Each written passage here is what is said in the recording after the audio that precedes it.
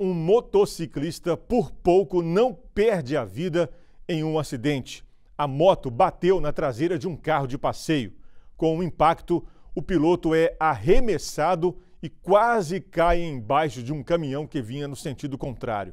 Depois de cair, a vítima tenta se levantar, mas não consegue se equilibrar. O homem teve escoriações no rosto e foi socorrido pelo Corpo de Bombeiros, que o levou para o setor de urgência e emergência do Hospital César Leite, em Manhuaçu.